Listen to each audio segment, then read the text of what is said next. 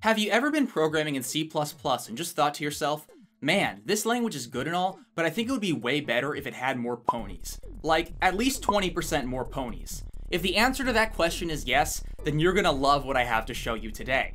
Introducing FIM++, the programming language with ponies. Finally, something for us pony-loving programmers. Now, if you don't know what an esoteric programming language is, it's basically a programming language that is made outside of what we see as typical boundaries and design expectations for a normal programming workflow.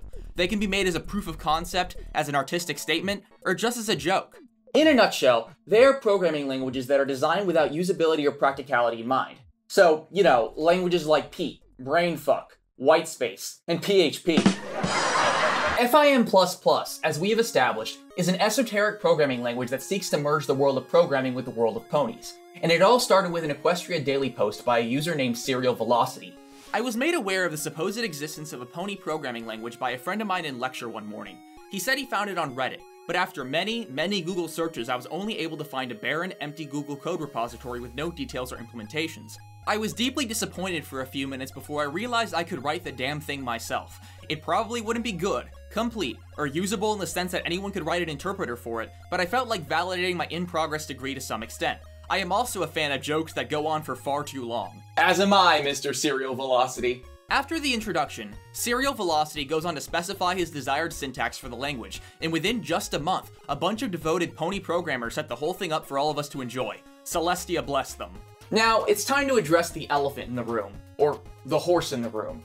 How would you even add ponies to programming? Well, in order to achieve a feat like that, we kind of have to rethink how we read and write programs. We have to overcome our prior expectations about how a programming language's syntax should be designed, because everything we've come to know is being thrown out. We're making it disappear, like the Pinkie Pie clones that Twilight zapped from existence in Too Many Pinkie Pies. In order to turn programming into a pony positive experience, FIM++ seeks to make programs resemble the letters to Princess Celestia written by Twilight Sparkle and her friends. At the end of a lot of episodes, especially the early ones, one of the characters would narrate a written letter to Princess Celestia documenting what they've learned about friendship. It served both as a way to recap the events of the episode and also demonstrate its moral. FIM++'s entire syntax is made to resemble one of the letters written to the princess. I mean, you literally start new classes by addressing it to Princess Celestia, or any other princess of your choice. Now, I'm sure you're all thinking, Switchy, this looks awesome! As a pony programmer myself, I am ecstatic to program in FIM++. How can I get this awesome language working on my machine? Well, you need to get a special FIM++ interpreter, duh. You can find a list of interpreters on the 60-page FIM++ community wiki, but the only one that seems to still be maintained is the FIM Sharp interpreter, which, if you can't tell by its name, is based in C Sharp. It's a pretty quick download, and it's completely portable, so you can basically put it anywhere you want. But personally, I put it among my system path environment variables so I can interpret an FIM++ program anywhere I want on my computer without having to navigate to its home directory. And trust me, interpreting any FIM file wherever I want in the command line makes me feel like a freaking genius. If downloading it on your machine seems like too much work, there also is an online interpreter you can use if you want. But I'll stick to Atom and Windows PowerShell personally. So let's start with a very basic program, a program that greets the user. FIM++ is kind of like Java or C Sharp and it's everything is a class thing. So to create a program, we first need to address the letter to someone and give the letter a topic. This is basically the exact same thing as declaring a main class in Java or a namespace in C Sharp to hold your program. Dear Princess Celestia, hello world. In the letter, we have to define a main function or otherwise our program wouldn't know where to start. In order to do that, we have to type something along the lines of, Today I learned how to say hello world. The I learned keyword is used to tell the interpreter that we are starting a function, and the today keyword specifies that this is the main function. Everything between I learned and the exclamation point is the function's name. You know, honestly, this is less annoying to type than the Java main function boilerplate. Public static void main string args. In the body of the function, we can print something to the standard output by typing that we said something, as if Twilight Sparkle was recounting a conversation she had had in the letter.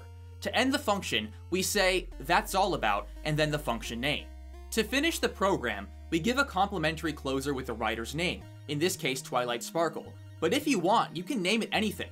While we're at it, let's not do this hello world BS. We're not normal programmers, we're pony programmers. We're the programming ponies every pony should know. That's much better. And there we go, our first FIM++ program, done and dusted. Sadly, our finished program file doesn't look super pretty or readable, because for some reason, Atom doesn't have native syntax highlighting for FIM++ files. Psh, ridiculous. Well, I suppose that's just life for us pony programmers.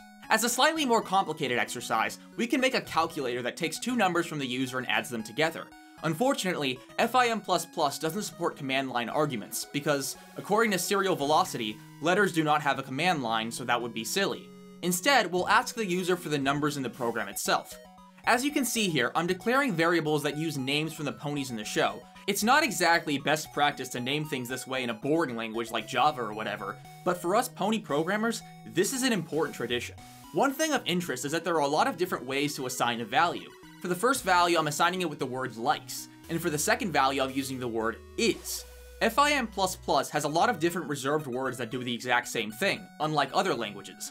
After all, it seeks to resemble actual human speaking patterns, or pony speaking patterns, and there's often a lot of different words that can be used to communicate one core message. It may seem a bit silly, but the fact that you can write things in so many different ways makes it seem a lot less overtly repetitive or robotic than most other languages. That being said, you're definitely going to have to have a tab open with the language specs, because it can get pretty complicated, and even for a program this simple, I had to use it as a reference more than once. In order to retrieve input from the user and store it in a variable, we have to say that we asked that variable followed by a string of what the console will prompt the user with. I asked Rarity what is your first number. I asked Fluttershy what is your second number. I can't help but imagine Twilight reminiscing over a point in that day, where she asked Rarity and Fluttershy for numbers she could add together. It's funny. After that, I store the sum of Rarity and Fluttershy in a new variable, Rainbow Dash, and then I print it out using the I sang phrase. Sadly though, once string concatenation is thrown into our pony programs, that's when FIM++ stops being super pretty. I originally tried printing the output without the rainbow dash variable, but the interpreter would get confused when I tried to combine strings and then add numbers in the same line, I think. It's a bit of a shame, but honestly, I can kind of understand why. This language's syntax is incredibly flexible most of the time, supporting things like multi-word variable names and stuff, and because of that, sometimes you have to break things down instead of stuffing individual lines full of logic. Frankly, this language in itself is a really cool feat. In order for its syntax to even work, you could argue that the interpreter is basically implementing some simple natural language processing to parse the FIM code in its system for punctuation and stop words. It's kind of cool, actually. The string concatenation got pretty annoying though when I was trying to write a FizzBuzz program. Yeah, you know, FizzBuzz and FIM++. Imagine popping that out during a job interview. Just make sure the guy is brony first. For those of you who don't know, FizzBuzz is a common programming test given in the professional environment. The basic task is to create a program that prints a bunch of sequential integers and replaces them with fizz if they're divisible by 3, buzz if they're divisible by 5, and fizzbuzz if they're divisible by both. I couldn't find any information on if-else statements when doing research on the language, so instead I decided to do it by checking if a number was divisible by 3 and then 5, and concatenating an empty string with the right words based on that. Which, to be fair, is more scalable than the if-else process that people usually gravitate to. I also wrote this program that draws a triangle of a specific length given the user's request. It was fun, but the code was not easy to write. I mean, this would be difficult to write in a non-pony programmer language, but one thing about FIM++ is that it doesn't support printing things to the output without doing a new line. So in order to draw the triangle at a certain size, I had to create a nightmarish abomination of string concatenations to get what I needed. Not exactly super zen.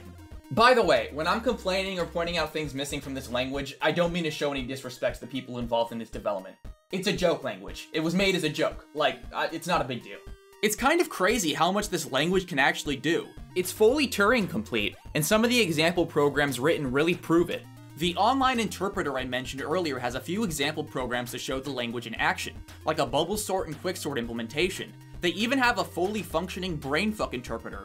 I'm not joking and the source code is immaculately pony packed. So, if you ever want to write something in Brainfuck, and then have it interpreted in FIM++, and then have the FIM++ be interpreted by C Sharp, your days of dreaming have come to an end.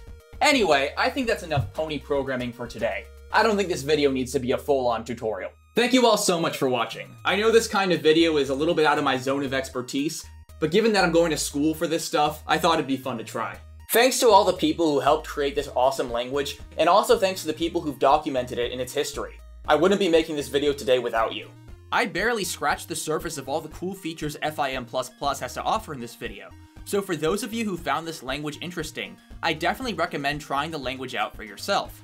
The language specification pretty much covers everything there is to know, and it was instrumental in my own personal pony programming success. That's all I have to say. I'll see you around, my fellow pony programmers.